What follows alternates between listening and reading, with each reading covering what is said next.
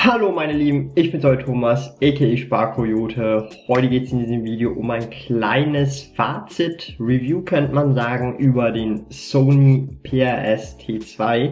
Das ist ein kleiner E-Reader, der ist, äh, sage ich jetzt mal, komplett unabhängig von dem Store. Da kann man einfach äh, Daten äh, raufladen. Der hat auch sogar einen kleinen äh, Micro SD Speicherplatz hier äh, wo man eine MicroSD einschieben kann, hat aber auch internen Speicher und ja, ich nutze diesen E-Reader jetzt schon seit gut einem halben Jahr und ich bin ja wirklich von physischen äh, Büchern im Prinzip äh, weg und habe jetzt wirklich nur noch ähm, E-Books hier auf äh, dem E-Reader und äh, ja, ich lese die jetzt schon, also ich lese jetzt schon eben seit einem halben Jahr hier drauf und es ist meiner Meinung nach sogar die bisher beste Entscheidung gewesen äh, bezüglich eben des Lesens, weil ich hatte vorher natürlich äh, auch noch nicht so viele Bücher, bin eigentlich auch froh, dass ich diesen Umstieg schon so früh gemacht habe, bevor sich irgendwie hunderte von Büchern angesammelt haben. Und das heißt für mich einfach weniger Platzaufwand und es ist alles hier kompakt äh, drin. Und ja, erstens mal, ähm, das Wichtigste ist immer äh, die Batterie oder der Akku, wie lange hält der und so weiter. Ich habe das Ding ja gebraucht gekauft für 42, 42 Schweizer Franken inklusive Porto. Da bin ich natürlich super froh für den Preis, äh, dass ich das den bekommen habe und der Zustand natürlich auch noch super cool, gut erhalten.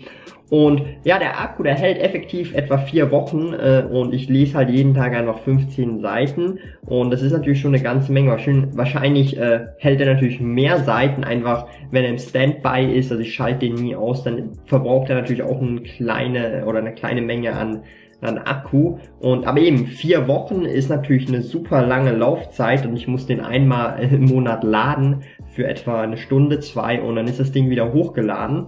Und ja, ich habe darauf äh, Dutzende von Büchern, äh, die ich überall mitnehmen kann. Das heißt, äh, ich mache das ja so, dass ich in meiner Morgenroutine 15 Buchseiten lese, egal wo ich bin, ausnahmslos. Und wenn ich dann halt unterwegs bin, dann muss ich kein Buch mitnehmen, sondern habe dieses kleine Tablet hier vielleicht als Vergleich. Das ist mein iPhone äh, 6s Plus und dann sieht man das hier vielleicht von der Größe so. Ist fast, also sehr ähnlich groß, ein bisschen höher und natürlich äh, etwas mehr breiter. Aber das ist super krass, das passt sogar in meine Jackentasche, also in meine Winterjackentasche. Und da kann ich auch mal unterwegs im ÖV lesen, wenn ich Lust habe und so. Und das ist ein super, super krasses Gerät, meiner Meinung nach. Und was mir halt auch extrem wichtig war, dass ich nicht online abhängig bin, wie beim Amazon Kindle und so weiter. Ich wollte das einfach alles äh, manuell machen können, dass ich einfach äh, Dateien, PDFs und so weiter einfach aufhauen kann und die dann einfach äh, persönlich lesen kann und nie mit dem Internet verbunden sein muss, weil ich bin selten mit dem Internet, eigentlich gar nicht, gar nie. Das Internet hier ist immer abgestellt, das WLAN und ja. Also für mich ist das ein in, in, eine der besten Entscheidungen eben auch gewesen in Bezug auf Minimalismus, weil äh, ich ja äh, zwar schon gerne physische Bücher lese oder auch in der Hand habe, aber die einfach Platz brauchen und ich den Platz eigentlich nicht unbedingt für diese Bücher aufwenden möchte. Darum alles super kompakt hier auf dem E-Reader, äh, super cool äh, gemacht eigentlich für ja perfekt eigentlich für mich in dem Sinn und eben darum auch sehr froh, dass ich diesen Umstieg sehr früh gemacht habe, so dass ich nicht so viele Bücher loswerden musste. Die Bücher bin ich ja dann äh, über Gewinnspiele hier ähm, auf meinem YouTube-Channel losgeworden auf, und auf meinem Blog. Äh, da habe ich ein neues Zuhause für diese Bücher gefunden. Bin auch sehr froh, dass da äh, sich viele Leute gemeldet haben, die die Bücher äh, wollten und ja, das ist natürlich auch eine super Sache, die ich dann dadurch äh, möglich machen konnte, indem ich mir diesen E-Reader gekauft habe. Zudem vielleicht auch noch, ähm, äh, was, was mir einfach auch im E-Reader gefällt, ist der Kontrast, sage ich jetzt mal. Äh, man kann sehr gut lesen hier. Ich kann es ja mal kurz in die Kamera halten. Ähm, ich habe jetzt zwar den äh, manuellen Fokus an, darum kann ich es nicht so nah halten, aber man sieht es, der Kontrast ist super gut, man kann super gut lesen, es ist wie auf einem Blatt Papier.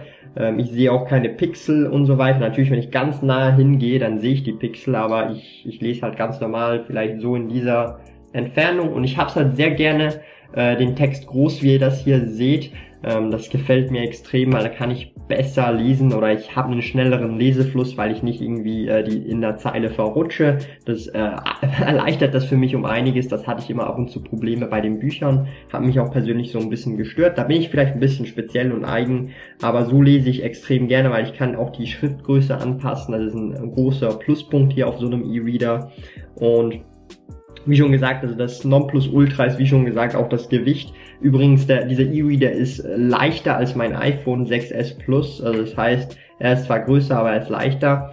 Und äh, was natürlich auch super wichtig war für mich persönlich, ich wollte, es hat zwar ein Touchscreen, aber ich wollte Buttons haben und das hat der Sony PRS T2, äh, weil äh, ich ich nicht gerne swipe, weil es gibt dann auch Fingerabdrücke mit der Zeit und ähm, ich, ich, ich, also ich, ich berühre den Touchscreen eigentlich sehr, sehr selten und benutze eigentlich immer nur diese zwei äh, Buttons hier und den, den Home-Button und das ist hier zum Blättern, das sieht man vielleicht hier, blättert auch ziemlich schnell, also von dem her bin ich da sehr zufrieden mit diesem Gerät und auch für den Preis. Ich habe 42 Schweizer Franken gekauft äh, neu kostet das Gerät irgendwie 150 oder so und man bekommt das fast gar nicht mehr, weil das ist halt schon ein relativ altes Gerät.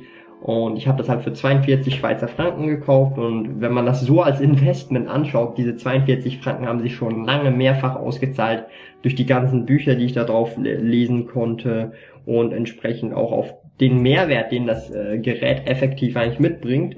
Und ich denke mal, dieser äh, oder dieser E-Reader wird mir jetzt noch weitere Jahre äh, sicher sehr, sehr lange äh, bestehen bleiben, eigentlich bis er kaputt geht, weil hier braucht man nicht wirklich einen Prozessor und was auch immer, da liest man ja effektiv nur PDF, EPUB und andere, äh, ich mal, Text- oder Buchdateien oder E-Book-Dateien und da wird sich nichts großartig was ändern irgendwie äh, in naher Zukunft und ich möchte auch kein Backlight haben, nichts, sondern äh, das ist für mich so vollkommen in Ordnung, weil ich lese sowieso nur, wenn es hell ist oder ich irgendein Leselicht habe und so weiter, von dem her ist für mich kein Problem.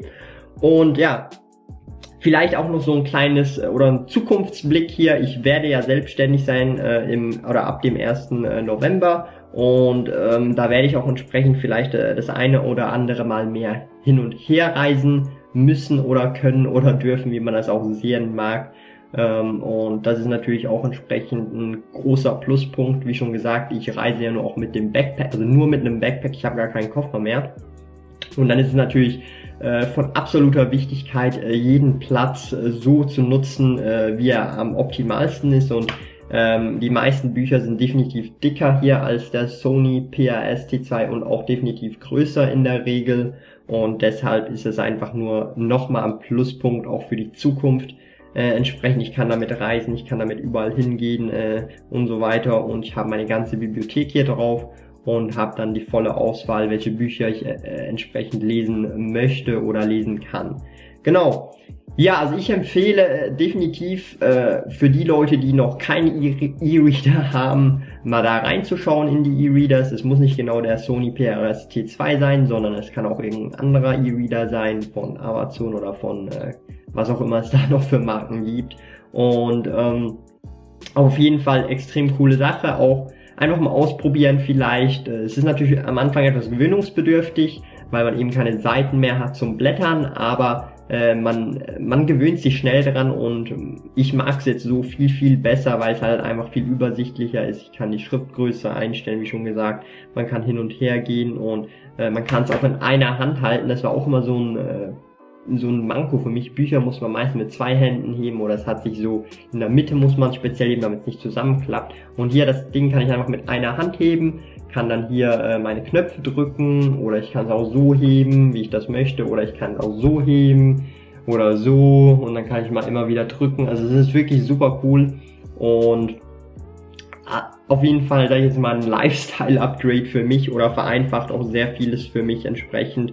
Und natürlich, man hat eben äh, den Platz äh, mehr. Man muss keine Regale, sage ich jetzt mal, vollpacken mit Büchern, weil mir das sowieso nicht, äst also ästhetisch gefällt mir das nicht. Es hat zwar so einen coolen Charme, aber mir gefällt das nicht so. Und ich meine, äh, wenn Leute in mein Haus kommen, die, die sehen dann vielleicht, okay, hey, ich lese so viele Bücher, super cool und so, aber schlussendlich ist es ja dann auch äh, völlig egal, ob die Leute sehen, was für Bücher ich lese oder nicht. Ich kann ja dann über Bücher berichten, wenn wenn es zum Thema kommen sollte, welche ich interessant finde und so.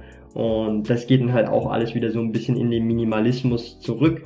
Das ist halt alles, sei jetzt mal, äh, ähm, ineinander verworren. Es ist natürlich im e echten Leben nicht so, dass man einfach strikt Lebensbereiche trennen kann. Nein, es ist natürlich, es hat Übergänge und so weiter und das sollte natürlich völlig klar sein.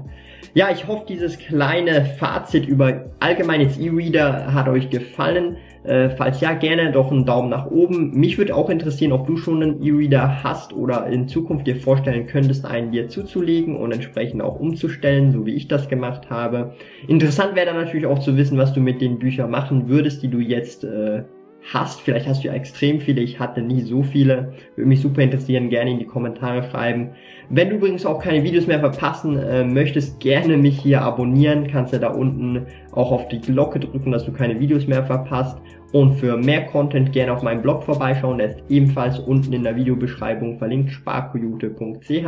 Ansonsten sehen wir uns im nächsten Video. Tschö Leute.